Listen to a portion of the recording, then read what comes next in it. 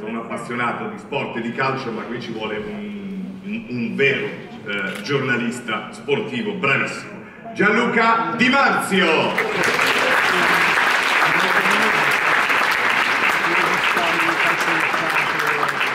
Ben arrivato, ben arrivato. Ecco il microfono. Allora, Buonasera a tutti, buonasera. Così come io ho detto a Zlatan a Sanremo, io faccio, eh, Sanremo è tuo, io faccio da Valletto, faccio la sì. te, quindi tu sei tu che sei il giornalista sportivo, la prima domanda te la faccio io, ti chiedo da giornalista, da giornalista sportivo, il, il pensiero di questa crescita di Zlatan umana che adesso la gente conosce perché sembra che veramente come si dice no, invecchiando il- come il vino si migliora, lui è sempre stato fortissimo, ma adesso sembra che la gente gli voglia più bene. Sì, è vero, eh, anche a me ha colpito tutta la parte relativa all'essere marito, all'essere padre, questo rapporto con, con i figli. Di solito queste cose si dicono quando un giocatore smette di giocare, no? Si, si- no, si pensa a com'è in famiglia, in realtà quello che lui sta facendo sul campo, e l'hanno testimoniato i tifosi prima con l'accoglienza, è ancora straordinario. Cioè ieri lui comunque ha segnato il trecentesimo gol nel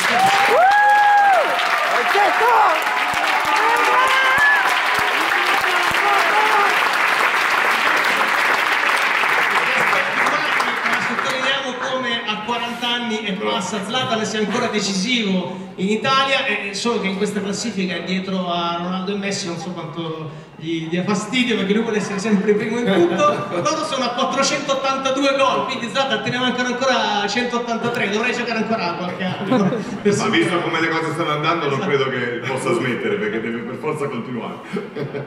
Quindi credo che la, la soddisfazione per lui più importante sia ancora quella di essere decisivo sul campo, no Zlatan? Non so, do- dopo anche i tanti infortuni che hai avuto, il non poter andare all'europeo, che per te era, no, penso, un raggiungimento ancora più importante della tua carriera, con la tua nazionale, essere tornato dopo gli infortuni, essere ancora decisivo, come hai fatto ieri, credo che sia fondamentale per te adesso.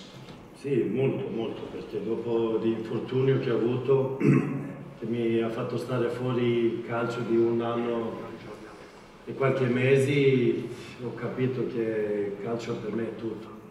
Per questo quando parlavamo prima di paura, ho, paura di smettere perché non lo so cosa mi aspetta dopo. E poi Secondo me ti fanno fare due Sanremo. però aspetta, ho paura per la multa perché ero obbligato di presentarmi, se no mi davano Perché lo po' di rischio no, lo prendiamo e via, dai.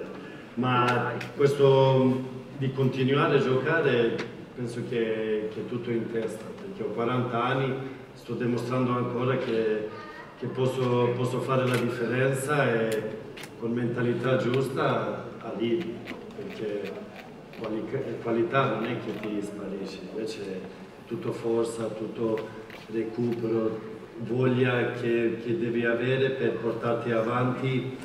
Poi ho, un- ho una mentalità che perché essere normale quando puoi essere migliore.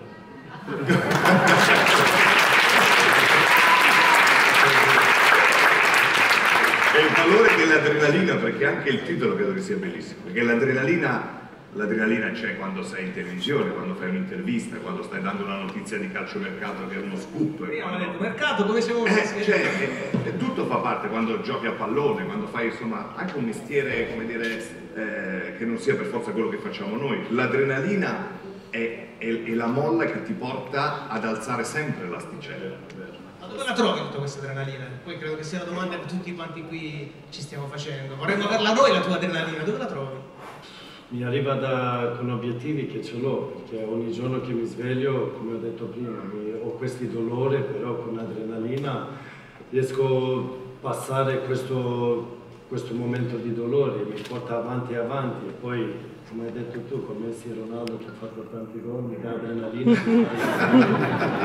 Iniziata ieri, metà iniziata ieri che mi porta avanti, poi no- non ho vinto la partita, allora chi mi conosce sa che non sono felice, che mi brucia qua dentro, però anche questo è un'adrenalina per la prossima partita e, e tante piccole dettagli che, che porta me. L'adrenalina adesso è lo scudetto per il Milan, lo vogliamo sentire.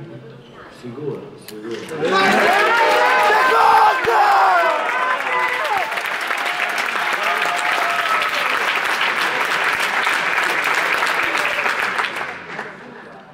Pronto,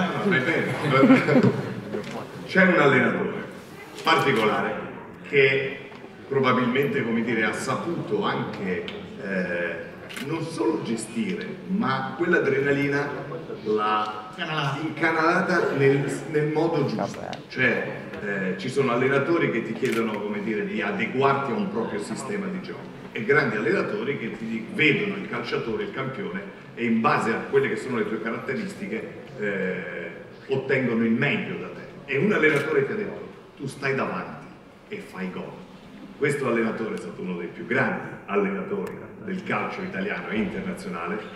Lo vogliamo presentare? Fabio, Fabio Fabione Capello.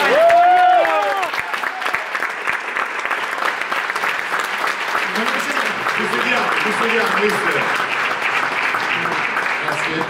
Buonasera, mister. Buonasera. È corretto? Correttissimo.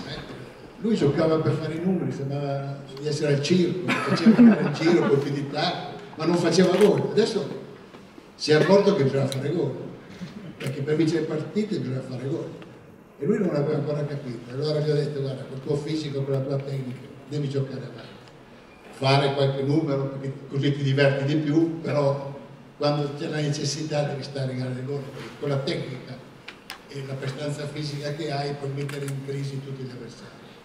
Però direi che quando è arrivato la Juventus è stato un colpo di fortuna che io l'ho incontrato per la prima volta a Berlino in una partita precampionato, lo vidi giocare il secondo tempo, mi avevano parlato di lui. E andai da Mogi Giraldo e dissi prendetelo. Rimasero sorpresi tutti e lui venne molto volentieri soprattutto perché c'era un bellissimo rapporto fra Mino Raiola e la Juventus e si è dimostrato subito quel giocatore che pensavamo. Però aveva i, piedi di legno, gli dicevo, tu calci in una sola maniera, c'hai tecnica ma non sai calciare. È incredibile, no? Aveva grande talento e soprattutto, come dice lui, l'adrenalina. Dopo ogni allenamento si fermava a calciare. L'abbiamo corretto un po' da posizione, tutto quanto.